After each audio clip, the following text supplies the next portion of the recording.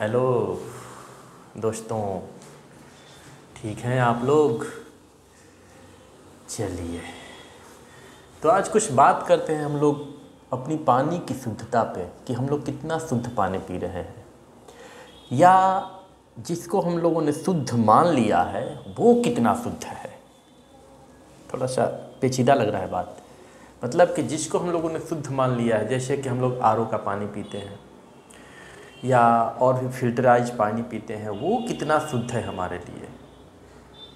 क्या उसमें से जो भी हम लोग वो निकाल करके लाते हैं आरओ से पानी, वो हमारे शरीर के लिए एकदम लाभदायक है? इसी पे चर्चा करते हैं आज थोड़ा सा देखिए, जो आरओ हम अपने घरों में लगाते हैं, यह एक मार्केटिंग का हिस्सा है। इसको हम लोग कह सकते हैं यह बाजारवाद का हिस्सा है, जो हमको आ करके ये बात कहता है कि आप जो पानी पी रहे हैं, आपके घर से जो पानी निकल रहा है। घर से का मतलब ये है कि जो आप बोरिंग करवाए हुए हैं अपने घर में या चापाकल जो लगा हुआ उसका पानी ठीक नहीं है। आप आरओ का यूज़ करिए और घर पे आपको इस तरह से करके कुछ पैसे लगते हैं और आप आरओ लगा लेते हैं। वो आरओ क्या करता है कि आपका एक लीटर पानी बनाने में करीब करीब तीन लीटर पानी बर्बाद कर देता है। मतलब कि चार लीटर पानी हो तो उसमें से एक लीटर पानी वो बनाएगा आपके लिए और तीन लीटर पानी वो गिर जाता है। सोचिए कि कितनी बर्बादी है। हम लोग पानी कितनी बर्बादी कर देते हैं एक लीटर के लिए। और वो भी जो एक लीटर शुद्ध मिलता है, जिसको हम लोग एक कह सकते हैं कि वहाँ पे हम टीडीएस चेक करते हैं उसका। TDS का मतलब ये होता है कि उसका मतलब होता है टोटल डिजॉल्व सॉलिड्स कितने उसमें सॉलिड्स डिजॉल्व हैं? अगर ऐसा माना जाता है कि 300 या उसके नीचे 250 और 300 के बीच का अगर TDS हो तो ऐसे पानी को माना जाता है कि वो पीने लायक है, शुद्ध है, एकदम शुद्धतम स्थिति है। यह करीब करीब 500 तक माना जाता है कि अगर TDS हो तो वो पानी पीने लायक है।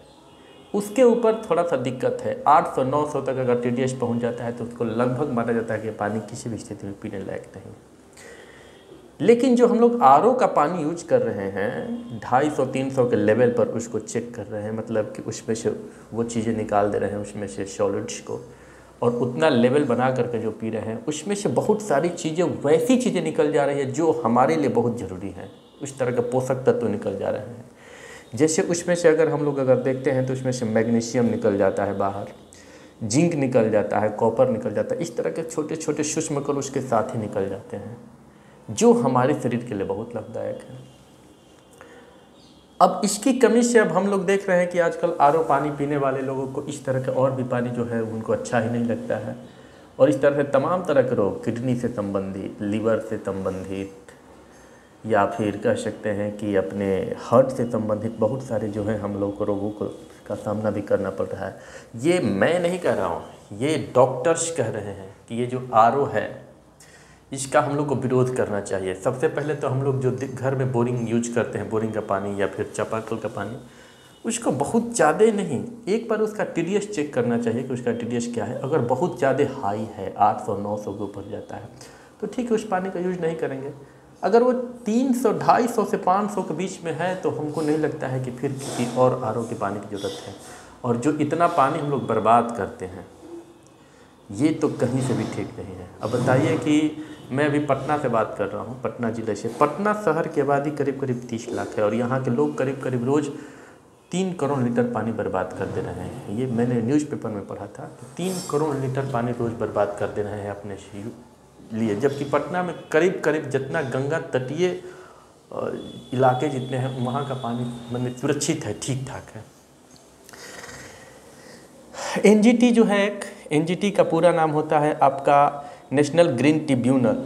उसने ये कहा था कि ऐसा है कि जहाँ पे प्रति लीटर 500 मिलीग्राम से नीचे है, अगर सॉलिड, मैंने टी जो है वो 500 मिलीग्राम से नीचे है, वहाँ पे हम लोग को विरोध करना चाहिए, वहाँ आर लगाने वाले को प्रतिबंधित करना चाहिए।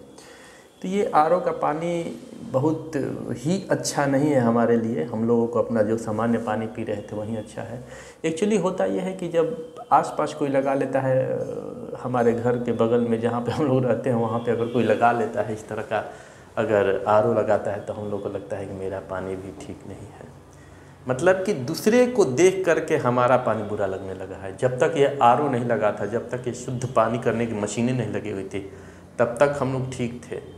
लेकिन जब से आया है, तब से अपना पानी ही गंदा लगने लगा है। तो थोड़ा सा समझदारी बरतनी चाहिए। बहुत ज़्यादा नहीं करना है।